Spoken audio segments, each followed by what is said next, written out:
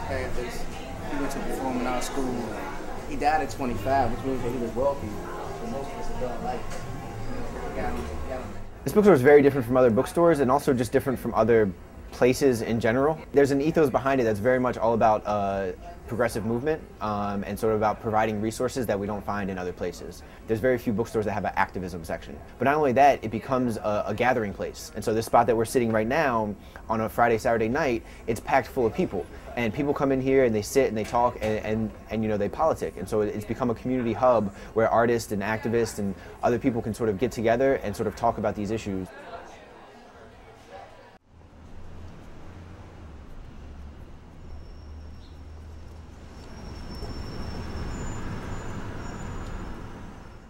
We are going to the Teach for Change bookstore in Busboys and Poets. Okay. Is it one of your favorite destinations? It definitely is one of my favorite places to shop for books for school for my son.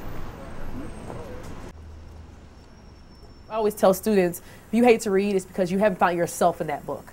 You know, I would go to Busboys and Poets and I would purchase books, you know, with my own money when I needed to, and sometimes the school would have funds available, and I would find books that, that like with stories that my students could relate to. Yeah, this is the section that I hang out in the most. My husband has to pull me away from it. This is about putting the movement back into civil rights teaching. Um, it's not one that I've read yet, um, but I have read um, Beyond Heroes and Holidays. Just finding more authentic way, ways to celebrate um, the heroes in our own neighborhoods and in our own communities as opposed to just focusing on um, Martin Luther King and Malcolm X and Gandhi who have their place. But I think it becomes more, even more relevant to students when we can focus on the heroes next door.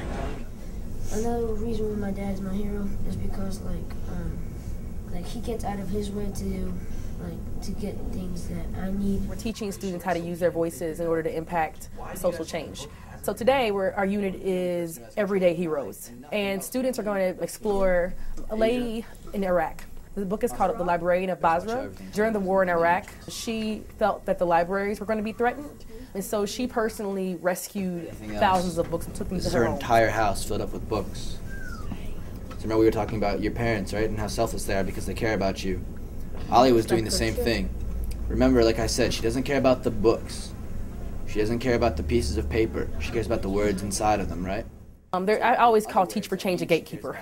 Um, they make sure that all the books that they have in their bookstore are present a multicultural perspective um, and are anti-racist, um, are anti and anti-biased. Um, so I just feel like I don't have to kind of sift through them like I do the textbooks to make sure that they're given accurate information. I can really trust that they're going to be reliable sources.